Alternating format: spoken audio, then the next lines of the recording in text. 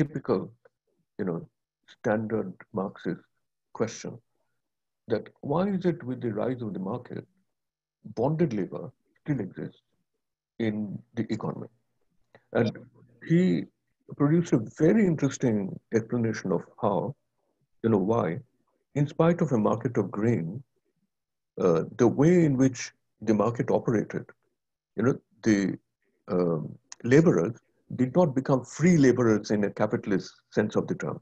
They remained, in a certain sense, bond, bonded, not always in, in the technical sense, but they remain bonded in the economy.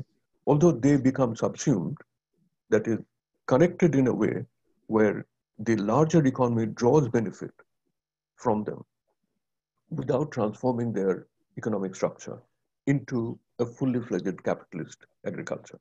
This kind of thing. So I, I would say that even within Marxism, uh, even within the economic analysis of Marxism, there is this way of uh, thinking of this structure. This is why I find the term structure so interesting. That the structure to me means, uh, you know, uh, the definition of the structure in dominance is whatever is a particular substructure at a particular point of time, and its its existing specific relationships with each other, which produces the structure at this particular moment in time. You know, that is the structure. We should not think of any kind of teleological uh, tendency within the structure to transform itself in a particular direction. Right? Uh, Aditya Nigam's book actually discusses this a little bit more. So I do not see why you know, if you're a Marxist and think of the social formation as a structure in the typical historical structuralist kind of sense, we cannot deal with the question of particularity that way. But I agree with you that there is a form of Marxism which tends to ignore that, uh, which finds it difficult to come to grips with that or allow that any expression in our analysis.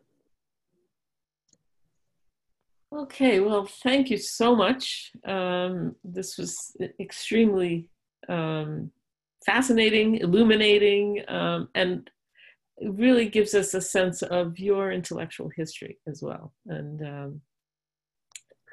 Thank you. thank you. I don't know how clapping goes in this situation.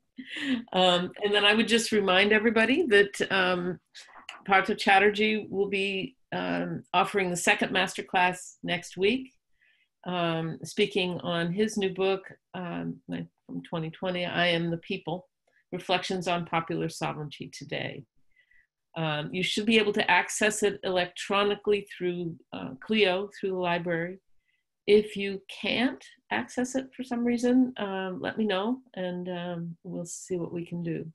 There, there would be, I think the link would be uh, circulated from the South Asia Institute? The the link for the class or for the yeah. for the book? No, for Partha's session.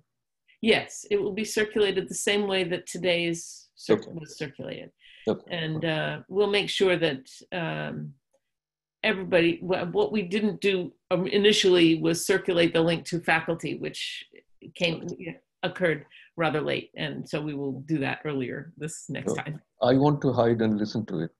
So okay. yeah. Well, I think I think it's really um, a wonderful opportunity not only for students to hear the faculty, but for faculty to hear each other, which because we don't sit in on each other's classes usually. So um, thank you. Thank you so much, and uh, much. we'll okay. see everybody next week. Bye bye. Bye. Thank you. Bye.